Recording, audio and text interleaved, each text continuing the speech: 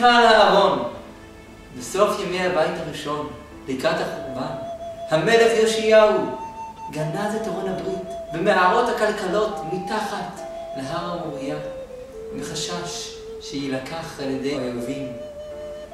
ואבן הייתה שם, מימות נביאים הראשונים, במקום שעליו עמד ארון הברית, הייתה אבן, חלק מסלע האם של ההר, שהוקרא כבר על ידי שמואל ודוד. ושתייה הייתה נקראת. שמה שתייה, על שם שמהאבן הזאת הושתת העולם. זהו מקום החיבור בין שמיים וארץ, שהוא יסוד כל הבריאה כולה. גבוהה מן הארץ שלוש אצבעות, ועליה היה נותן.